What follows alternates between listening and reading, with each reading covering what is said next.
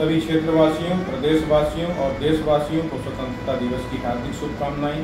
आइए स्वतंत्रता दिवस पर हम सब ये संकल्प लें कि हम देश की एकता और अखंडता को कायम रखेंगे। समाज और देश में व्याप्त बुराइयों को दूर करेंगे। एक अच्छा मज़बूत, सशक्त और समृद्ध राष्ट्र के निर्माण में अपना सहयोग देंगे। आप सभी को स्वतंत्रता दिवस की हार्दिक शुभकामनाएँ।